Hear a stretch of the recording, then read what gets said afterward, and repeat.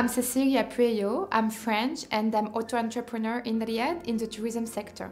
I was living in the region, uh, in the UAE, and I was coming a lot to Saudi to visit mainly. And uh, I was like, oh my god, there is so many opportunities uh, here in the country, and I wanted to move, so I just said, let's try.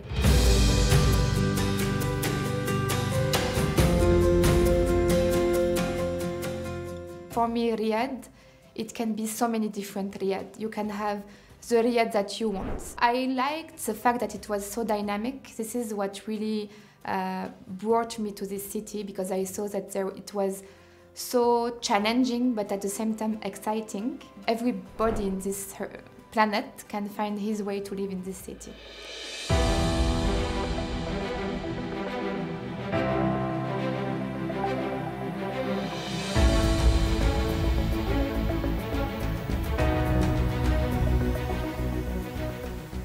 Had the opportunity to travel a lot uh, in Saudi Arabia. I went to Jeddah, Lula, Abha, Khobar, Al Ahsa, a lot of regions.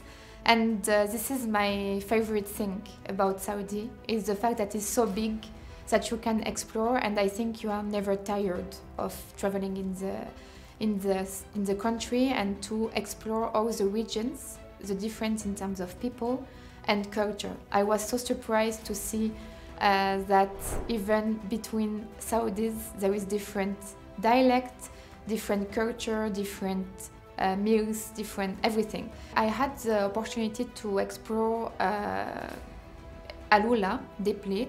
This is the first historic site that I did in Saudi and I was so surprised to see how many civilizations came to Alula. When I traveled to Alula, it was the point of um, it was the beginning for me of the exploration in Saudi and I think it was also the why I came here because I saw that Saudi was very different comparing to the other countries of the region and you can learn a lot about this here. And then I was so surprised to see also that in Saudi there is a lot of UNESCO sites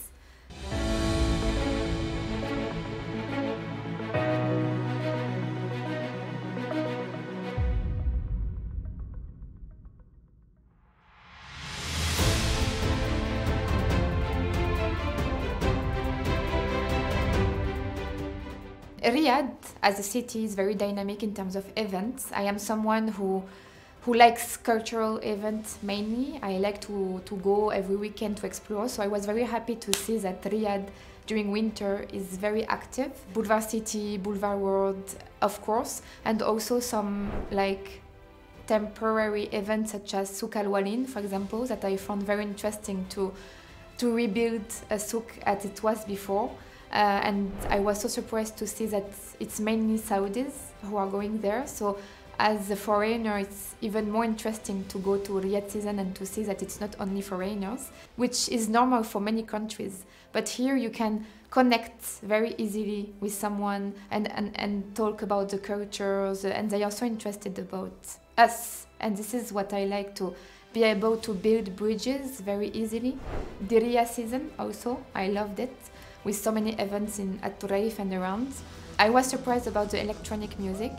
I attended uh, many festivals or events about electronic, and you know, my friends back home were so shocked when I posted on Instagram, and everybody was asking, "Is it in Riyadh?" Like because I just arrived, I jumped on, a, on an event and uh, I was shocked to see how many events there is like this. I feel Saudi is very um, is leading in the region in imagining this kind of events in hidden places, or like Al Balad or Alula. Like you want to experience concerts in this kind of things in this kind of place.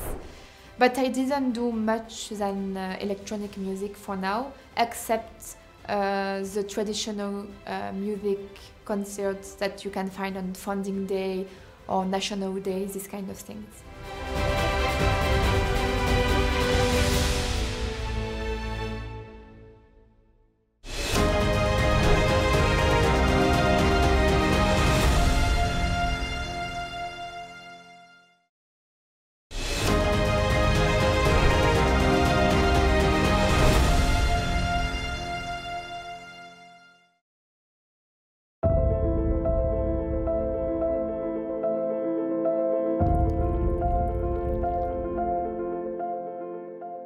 Knowing people in Riyadh uh, can be challenging, I think. I was lucky to come with my husband here, so I was not alone. But I think the best way to find people in uh, Riyadh is from work because you work with people, you have colleagues, and then you get to know more people. But honestly, I think everybody can know uh, so many people in Riyadh and from different nationalities, a different uh, background and this is what makes Riyadh I think very interesting for foreigners. So this is my friend Emily from France. Oh, Emily yeah. in Paris. Emily in Paris, ah. but it's Emily in Riyadh. Yes. Now. Emily in Samhania. Yeah, Emily in Samhania, and Felwa min Abha. Oh, nice yeah. to meet you all. Something that I like the most about uh, Saudi is uh, hospitality uh, because I was so shocked at the beginning to see even not only in Riyadh, in every region, I was invited in the Saudi house. Like I was just uh, traveling uh, with friends or with my husband in the car, just stopping somewhere, and each time we were stopping, someone was coming and where are you from? Uh, do you want a tea, a coffee, gahwa, date? And you know, you, you just uh, realize that uh, we have some stereotypes in Europe that Saudi can be a very close country, and so the people also. So I was happy to to break the stereotypes uh, here because the hospitality is amazing. I have to say this. And even now, I'm living in Riyadh since a long time, and I still I am invited to have coffee and everything and and dinner in houses, and this I feel it's amazing. I think uh, the culture of Saudi is very rich in terms of food. First, I discovered so many things, and I was living in the region, so I thought maybe it would be the same, but no. And I discovered that it was even different from different regions. So I like uh, so many different food, kabsa, jarish. I like the Saudi desserts, very sweet, but I like it. And also I discovered so many things about the clothes that I felt very interesting that I'm telling also back home, which is about the different clothes, traditional clothes that are very different from a region to another. For women mainly, I discovered so many interesting facts about how it was before and uh, the identity also that the clothes are bringing. If I had to choose a similarity between uh, French culture and Saudi culture, could be first, I think it's very different. Uh, I don't find a lot of similarities, and this is what I like. It's because it's very different from my home. But I was surprised to see that one of the Saudi desserts, desserts here is very similar to the crepes that we have, which the French crepes are very famous all over the world. And when I arrived, I was surprised to see that there is small crepes that all Saudis are eating for dessert, and I was like, hmm, this is interesting.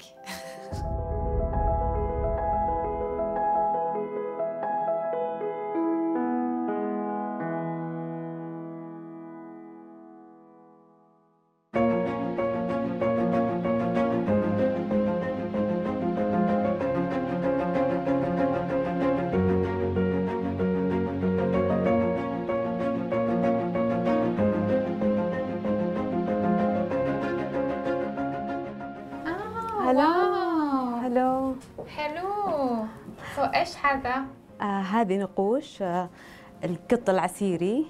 آه. هذه نقوش موجودة في آه جنوب السعودية منطقة عسير. آه ومشهورة هذه النقوش آه في مجالسهم. آه ينقشونها على الجدار. آه بألوان طبيعية.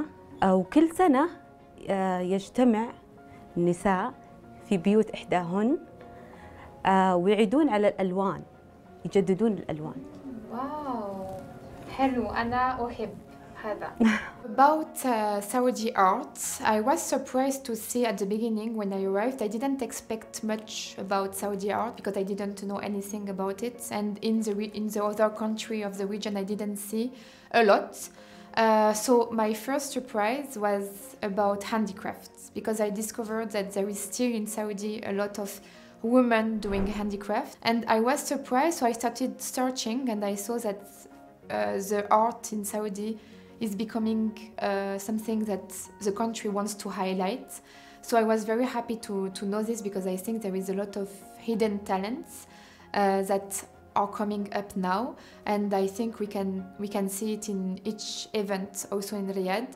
But I did something personally that um, is close to my heart because when I discovered that there were so many um, artistic people, very not known yet. So as I have a tourism agency in uh, in uh, in Saudi but based in Riyadh, I have a small office and in this office, I just uh, started a, a, souvenir shop. So I am in touch with a lot of artists, mainly women, who are selling their products in this shop. And I want, I did this to support this woman uh, and for people to find easily some artistic things that they can buy in one place. Hello, I'm so happy because the shop is live. So here it's a souvenir shop with only Saudi-made products. And I'm so happy because I am with Felwa and you can buy so many things from her. She's specialized in Asiri painting and time leaf weaving. So join us next week because the shop will be open. Bye!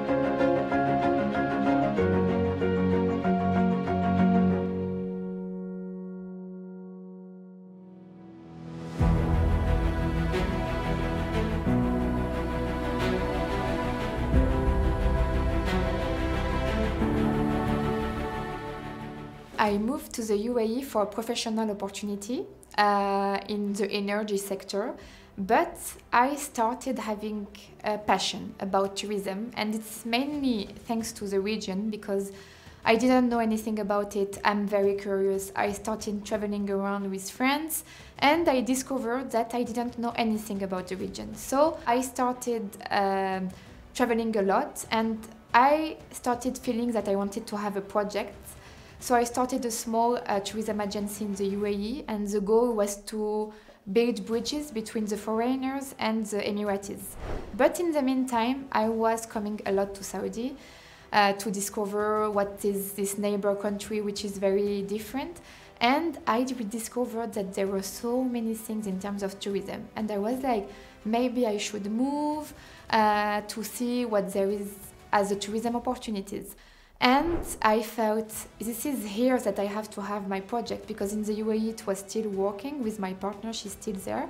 And I started meeting a lot of people from the tourism sector, and I had an, an amazing opportunity. I met um, my Saudi partner. Uh, we are now three in this business, so two French and one Saudi. And we just uh, launched Bonjour Saudi, which is a tourism agency for foreigners to come to discover Saudi through our lens, which is uh, through Saudis. So we create itineraries for people to know Saudi through Saudi guides, Saudi artists, uh, Saudi houses in the whole Saudi, not only in Riyadh. So this is now my career because I don't have anymore my, my job. I'm focusing mainly on my business. And the goal is to show to the world our vision of Saudi and to organize impactful events for residents and companies.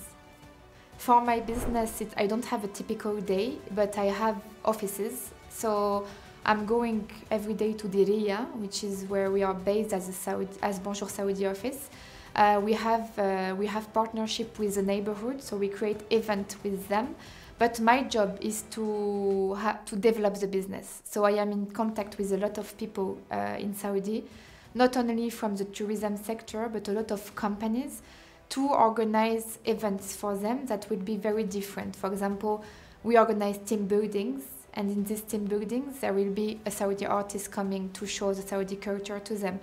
So my day is very different because I am in a stage of developing a business, and I'm happy that I am an entrepreneur in Saudi because all the doors are very open and I'm very thankful for this. I think the what is amazing here is that you can have opportunities that you I will not have in Europe honestly and that you can just uh, have so many nationalities and meet and exchange and make event together. So I feel very active and I feel very lucky also to have every day a new experience. And this is my feeling now, like this month in particular, because I just launched everything now. I'm very lucky to be in this country now of this change.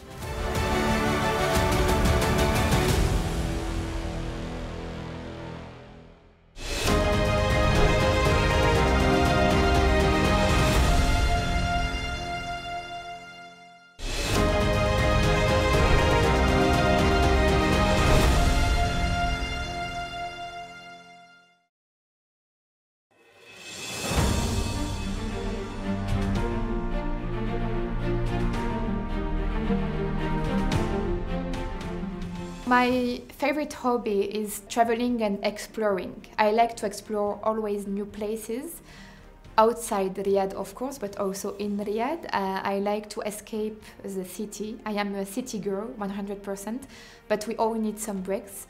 So I like to, as I, as I said in the desert, going and sitting, but I like also closer to Riyadh just to go to some farms and uh, I'm very lucky to work with uh, many farm owners to organize some events. So I like to explore all the farms around Riyadh to see if we can make events, but also just to chill, to walk. I sometimes I walk also in the farms with my friends, my team, everybody. And uh, because I like to explore, because I'm posting a lot on social media, I have a page where I post about everything that I discover. I feel it's interesting for people to know from others what we discover because there is so many places and hidden gems, I would say, I like to call. And I like to be like the hidden gem uh, person.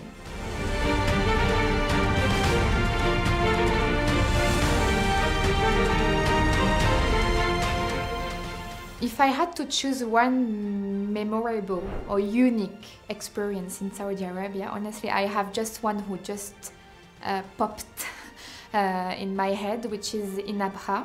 So, with my husband, we went to the south of Saudi with no expectation because I didn't know exactly what to expect. And it's not yet a very touristic place.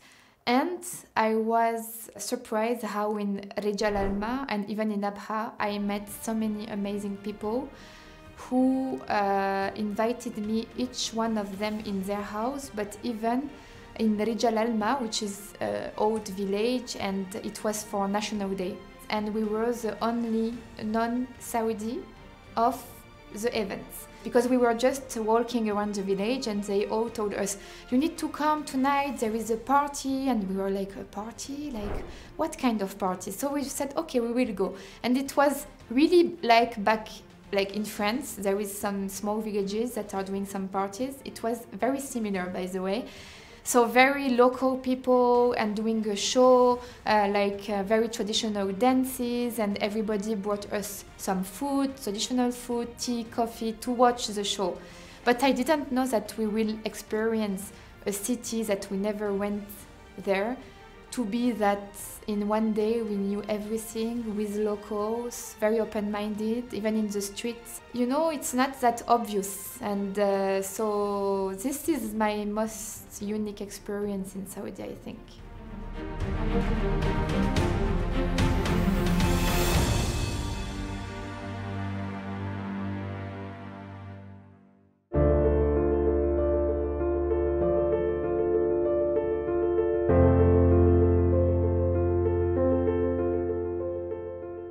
Course, I spend time at home because sometimes it's, it's, needed also. I don't, I don't like, I'm not someone who is staying at home, but sometimes I like just to chill and to uh, make uh, something to eat, uh, like uh, crepes, for example, uh, from France, because sometimes I miss home. My mom is doing a lot of crepes, so uh, I like to, to just do this and chill and uh, have like watch a movie or read a book or something but i don't have a lot of time. So this is not really my daily life but i try to do it to recharge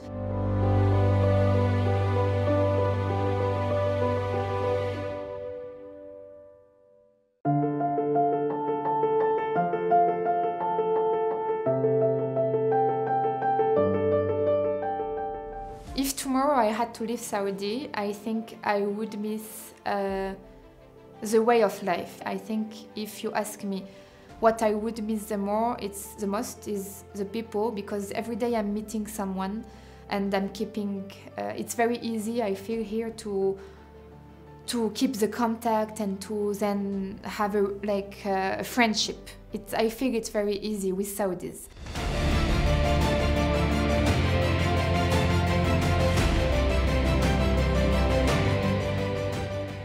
Donc si j'avais un message à délivrer euh, à mes amis, à ma famille, euh, aux Français, on va dire, euh, sur l'Arabie, c'est que je sais que c'est pas un pays qu'on visite encore depuis la France, parce qu'il y a beaucoup de préjugés, de, clichés aussi sur le pays. Mais je dirais qu'aujourd'hui, c'est un pays auquel on doit donner une chance pour visiter, parce que c'est une culture qu'on ne connaît pas euh, en France et en Europe majoritairement. Et donc, je pense que malgré tout ce qu'on entend sur le pays, qu'on aime ou qu'on n'aime pas, c'est un pays qu'on doit visiter pour le comprendre, pour l'analyser euh, et pour l'aimer ou pas.